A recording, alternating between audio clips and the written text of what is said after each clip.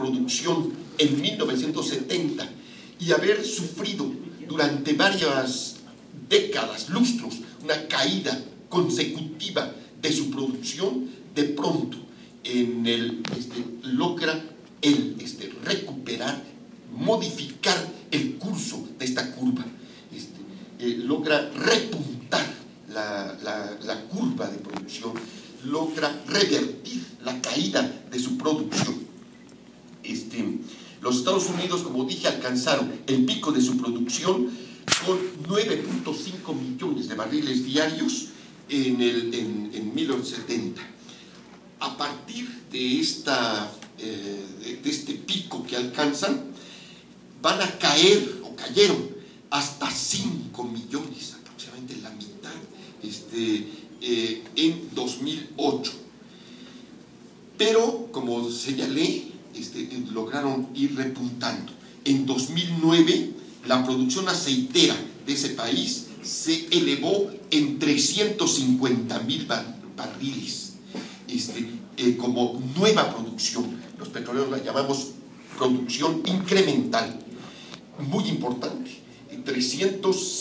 350 mil barriles es lo que México eh, lograba producir en el campo terrestre más importante, es el complejo eh, Bermúdez, este, que, comprende varios campos, entre ellos el Gran Samaria. Son campos viejos descubiertos en los años 70.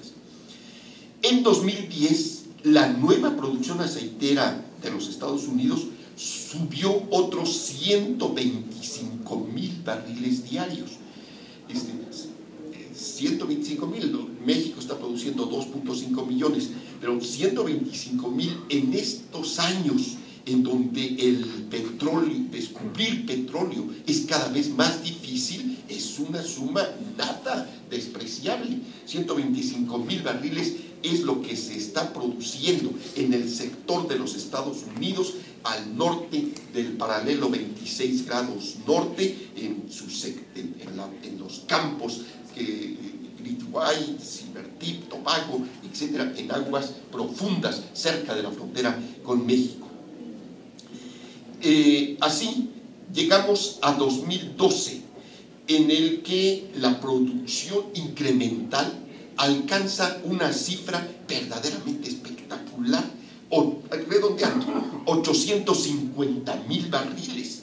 Es decir, lo que este país, nuestro país, logró en toda la década de los 10 en el complejo que hoy es eh, la joya de la corona, Cusamaló.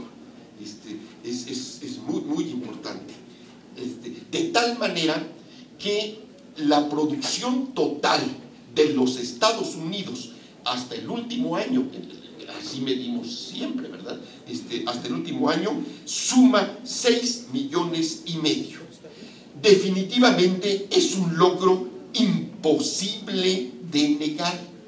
Pero también tenemos que decir que esa, esa cifra de 6.5 millones todavía está muy distante de la autosuficiencia estadounidense, porque ese país consume diariamente 18 millones de barriles la brecha, la brecha este, es muy amplia y definitivamente este, es eh, temprano, es muy temprano este, eh, anunciar que va a alcanzar la autosuficiencia y nos parece un poquito exagerado decir que no solamente va a cerrar la brecha, sino que se va a convertir en exportador.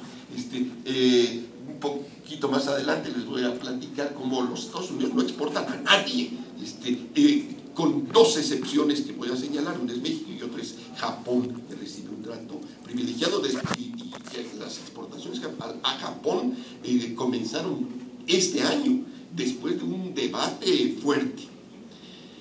Si se pone mi, bueno, este, mi...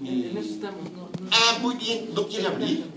No quiere jalar el proyector. También, y entonces ya le echo la culpa de todas las deficiencias, a la, de todas mis deficiencias a la tormenta que sufrí.